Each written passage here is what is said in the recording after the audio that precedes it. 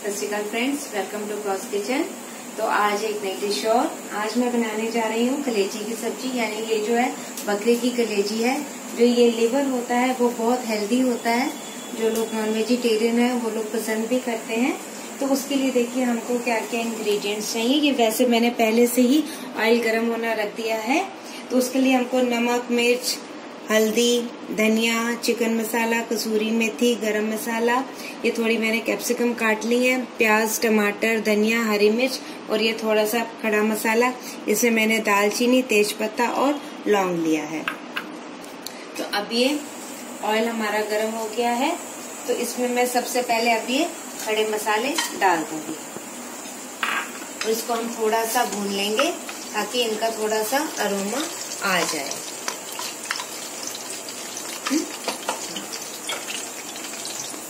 अब ये हमारा मसाला थोड़ा सा भून गया है तो इसके अंदर अब मैं ये प्याज डालूँगी। मैंने चार प्याज लिए थे, मैं हिसाब से डालूँगी कितने चाहिए मुझे। तो मैंने प्याज इसमें डाले, और जो कलेजी है, वो ढाई सौ, तीन सौ ग्राम के अराउंड है।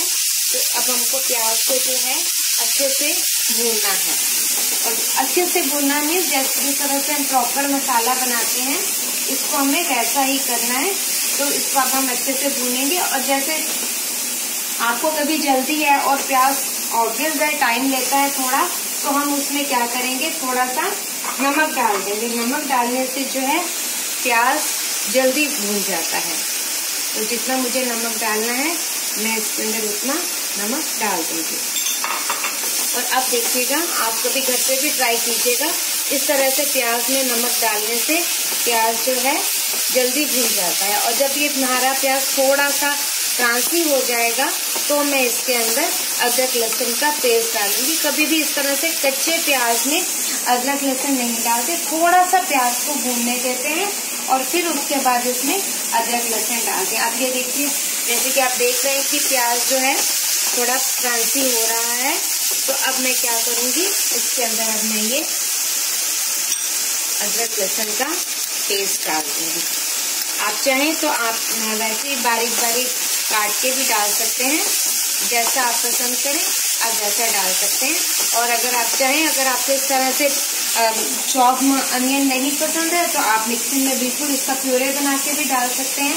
ऐसा कोई कंपल्शन नहीं है कि आपको इस तरह से ही प्याज करना है। जैसा आपको पसंद लगे, आप वैसा ही कीजिएगा बस।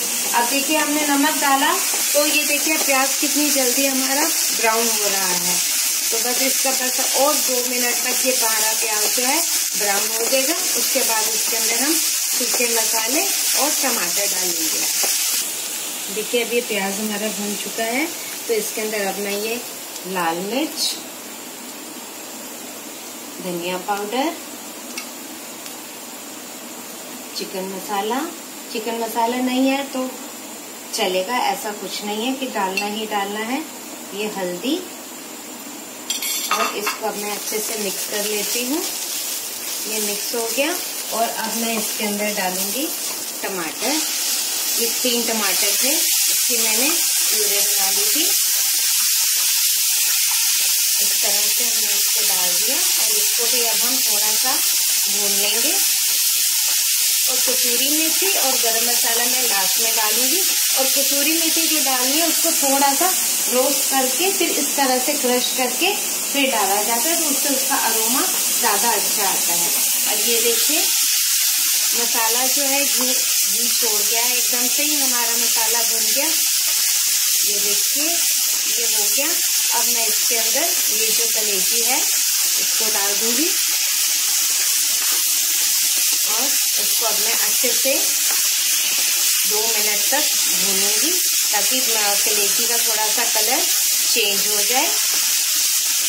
और जो मैंने शिमला मिर्च काटी है वो बिल्कुल लास्ट में डालूँगी, ताकि थोड़ा सा क्रिस्पी रहे। क्योंकि तो शिमला मिर्च बहुत जल्दी है, वो गल जाती है। तो इसको बिल्कुल लास्ट में, बस जब उतारने के लिए दो मिनट रहे, तभी इसको करना है। तो अब मैं इसको दो तीन मिनट तक इसको अच्छे से भून लेंगे। ये देखिए, अब हमने कलेजी को अच्छे से भून लिया है। ये देखिए, अब इसके लिए जिसमें टमाटर थे, उसमें मैंने पानी डाला है थोड़ा, और इसमें मैं ये वाली पौनी कटोरी जो है, इसको मैंने पानी डाल दिया है। और इसमें आप अपने हिसाब से देखिएगा कि भी अगर जितनी ग्रेवी कंज्यूम हो जाता है पानी, तब तो ठीक है, नहीं तो इतने में ही बन जाएगी, नहीं तो ऊपर से फिर और पानी डालेंगे, क्योंकि थोड़ा सा ये ग्रेवी जो है सेमी रहनी चाहिए। अब पानी डाल दिया इसके अंदर और अब हम इसके ऊपर लिड दे के और फ्लेम को हम सिम कर देंगे और इसको इसी तरह से पाँच से सात मिनट तक पकने देंगे। पाँच से सात मिनट हो चुके हैं। अब एक बार हम इसको खोल के देख लेते हैं। देखिए ठीक लग रही है सब्ज़ी। अभी हम इसके अंदर क्या करेंगे? अब इसको हमको दो चार मिनट अभी और पकाना है। अभी थोड़ी कच्ची लग रही है कलेजी। हम्म, अभी है थोड़ा। अभी हम इसको पाँच मिनट के लिए ऐसे ही लो फ्लेम पे और पकाएँगे। पाँच मिनट और हो चुके हैं। पहले मैंने सोचा था कि शिमला मिर्च डालूँगी, लेकिन देखा तो इसमें थोड़ी कसर थी तो इसलिए मैंने डाली नहीं। तो अब ये ऑलमोस्ट हो रही है। तो इसके अंदर अब मैं ये शिमला मिर्च और ये जो है हरी मिर्च, ये दो हरी मिर्च थी। आप अपने टेस्ट के अकॉर्डिंग डालिएगा।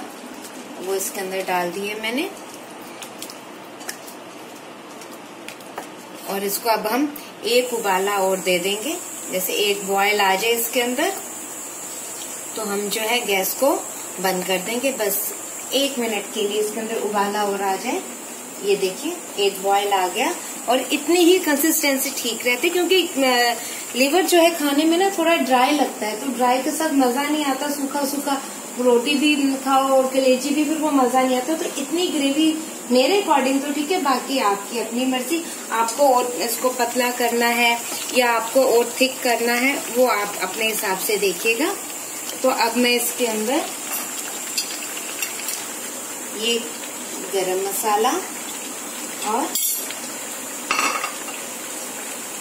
ये कसूरी मेथी इस तरह से हल्का सा इसको ये करके डाल दूँगी। ये देखिए, ये हो गया। और अब इसमें हरा धनिया और ये हमारे हमने कर दी गैस बंद। और ये सब्ज़ी तैयार। आई होप आपको पसंद आई हो ये डिश और आप प्लीज़ बनाइएगा। जो वेजिटेरियन है, वो तो नहीं बना सकते, लेकिन जो नॉन वेजिटेरियन है, वो बनाएँ। और प्लीज़ मुझे फीडबैक दें। और मेरी वीडियो को लाइक सब्सक्राइब एंड शेयर करना मत भूलिएगा। बाय